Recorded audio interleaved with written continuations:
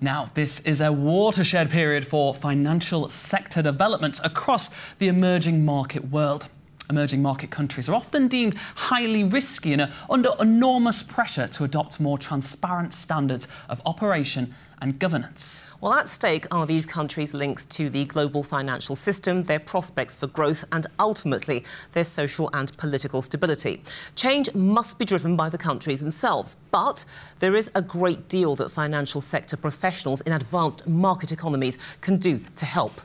And joining us to look at those challenges in more detail and crucially how financial sector professionals can get involved is J. Andrew Spindler, President and CEO of the Financial Services Volunteer Corps. Hello, Andy. Thank you for, for joining us over there in New York, I believe. Hello, and it's a real pleasure to be with you both and to be part of the Sibos conference this year. Really well, happy to be with you. It is good to have you here, beamed uh, triumphantly on our huge wall here in, uh, in Little Crawley. Uh, if I can start by asking, what does the Financial Services Volunteer Corps do, and, uh, and how did it get started?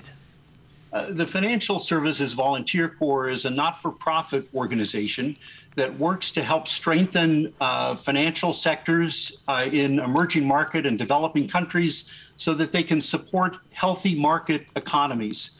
And we work basically in response to requests from reformers in these countries that are encountering bottleneck problems that have to be solved if they are to press forward. And the, way we operate is by asking leading experts uh, in financial services uh, and the support areas for financial services um, to go on a pro bono basis and to volunteer their time to share their experience and knowledge uh, to work with these reformers, to solve the problems, and ultimately to help make the world a better place. We were founded at U.S. Presidential Initiative back in 1990 when uh, communism was collapsing across Eastern Europe and uh, the former Soviet Union. And our initial work focused in that area. Uh, over the intervening 30 years, we have now expanded uh, to work in more than 60 emerging market and developing countries. We've sent more than 10,000 volunteer experts uh, on missions over this period. Mm. And, and, Andy, how have you seen its work evolve in the years of its existence? And give us an idea about some of the important areas of work that are happening today. When, uh, in some ways, the work has stayed very much the same, but yet it's also quite different.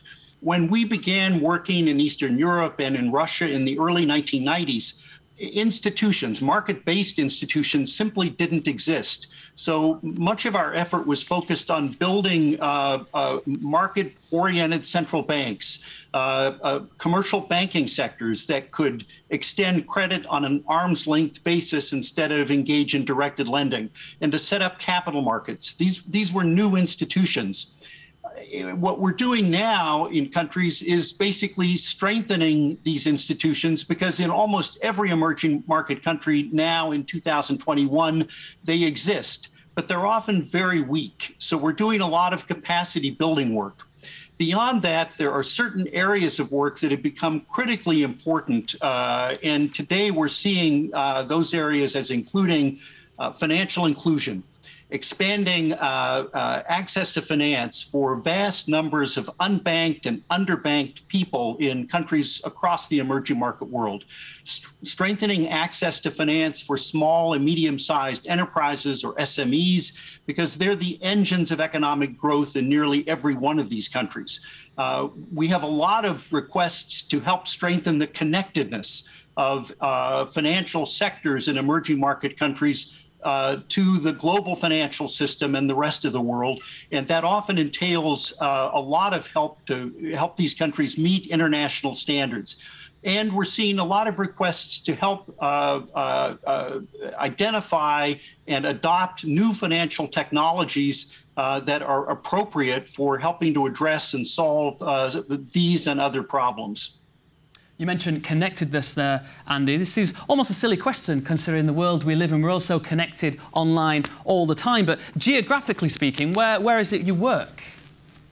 Well, the, the work uh, today, Johnny, has expanded tremendously beyond uh, Eastern Europe and the former Soviet Union.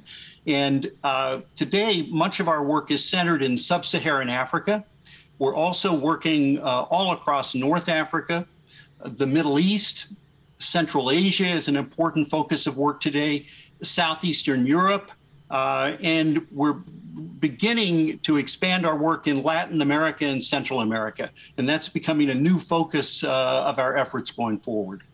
Right, but what are the preconditions that need to be met if an emerging market country is going to succeed at building a safer and more efficient financial sector? Well, one of the things we've learned over the years is that um, the effort has to be led from the country itself. Um, we may think that we know what's best for a particular emerging market country or developing country, but if there aren't reformers there willing to take the lead and to uh, uh, uh, run the process, it usually will fail. So we want to see uh, uh, reformers in the countries that we can support uh, who are willing to take ownership of this process. Second, there has to be the political will in a country to do it. Uh, we've we've found that often that a, a, key person to look at is the governor or chairman or chairwoman of a central bank.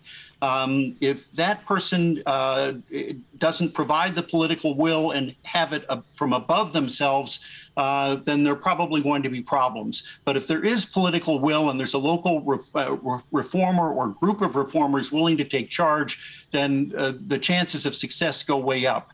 And the third ingredient I would cite is access to international expertise.